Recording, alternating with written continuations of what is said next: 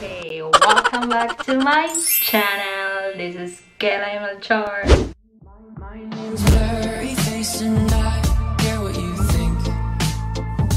My name's blurry face and I. Hi sa mga hilas din. So, karong adlaw, maghinilas ako. Kita niyo naman, sobrang happy ako ngayon. Bakit? I got my unang sweldo sa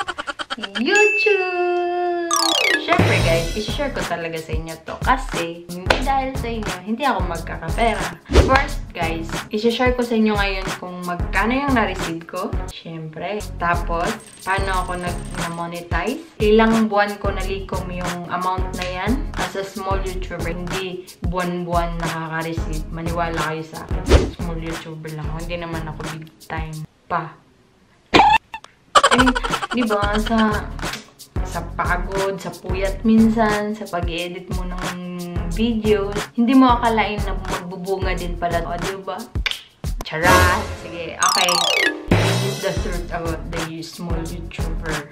Ano daghang istorya. So, ako nang i-share sa inyo kung pila dyan ako ang na-receive hashtag hilas. Okay, first guys, isa-isahin muna natin guys para maintindihan nyo sa mga gustong mag-vlog dyan. Eto, November 2018, nag-start akong mag-vlog. Tapos, September 2019, na-reach ko yung 1,000 subscriber. Tapos, yung 4,000 watch hour ni YouTube, yun yung mga requirements ni YouTube. By October 2019 na monetize ako. Siyempre, tuwang-tuwa ako. Na-vlog ko nga yan. Kung nakita nyo yung vlog ko.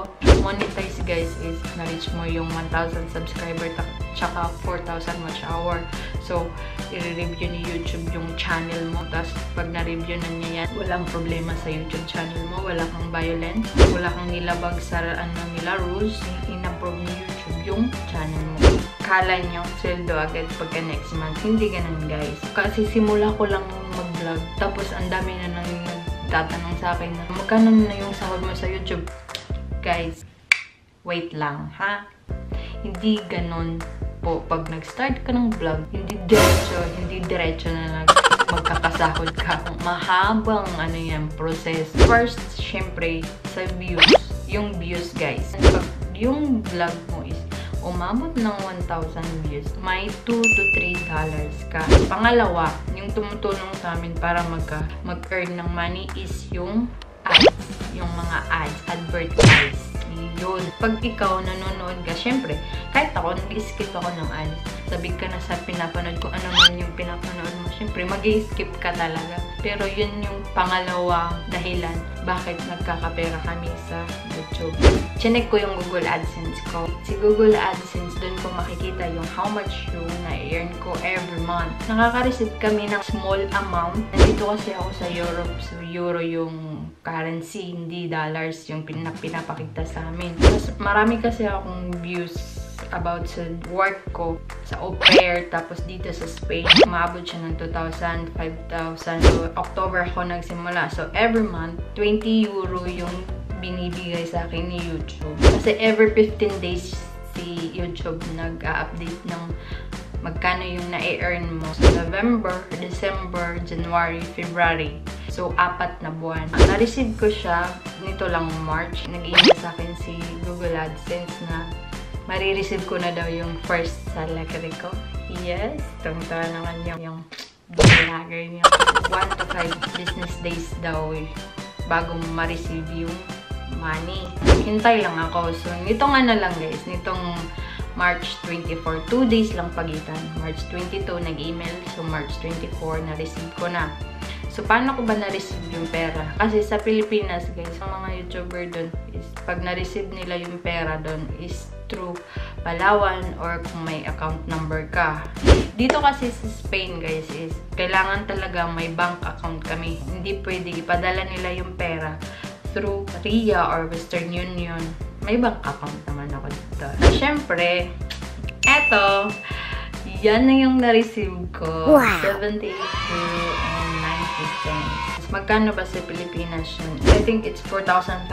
Hindi naman siya ganyan kalaki, guys. Saan ka makakuha ng ganyang pera sa small YouTuber? Maliit lang siya, pero malaking tulong na sa akin yun. Siyempre, sa ganitong panahon, naka-quarantine tayo, hindi tayo pwede lumabas. So, kasi ang gusto ko sana is gawin ko siyang savings itong pagkakitaan ko. Pero, ang nangyari is, di ba ngayon nag-lockdown ang buong Spain. So, hindi kami pwedeng lumabas. Ito, gagamitin ko to guys para ipadala sa, sa pamilya ko sa Pinas. So, malaking tulong talaga sa akin to. So, ngayon, alam nyo na kung magkano talaga yung first salary ko. Siguro guys, makukuha ko siya in 2 months pag once a week, 3 times akong nag-upload. Tapos yung ina-upload ko, yung content ko maganda. Siyempre, may trabaho ako. Pag uwi ko sa galing trabaho, sa gabi lang ako pwedeng mag-edit. So, so mahirap din sa akin na mag-upload ng 2 to 3 times a week. Kaya hindi hindi hindi ganun kabilis tumaas yung sa salary ko sa YouTube. Hindi naman ako artista. Mukha lang akong artista. Right?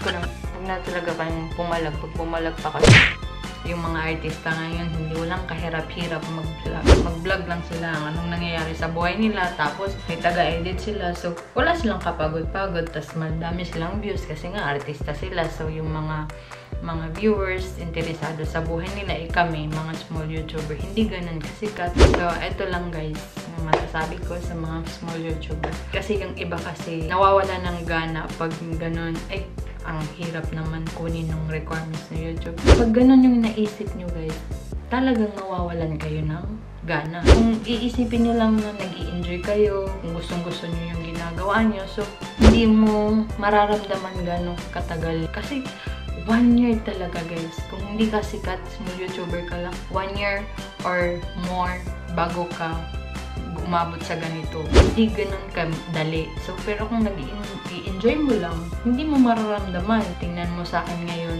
one year lang, nakuha ko yung ganito, pero hindi ko naman pinalo na maging vloggers. Doon lang ako nagporsige na daming nanood, daming natuwa sa vlog ko. So, ayun. Hashtag gilas.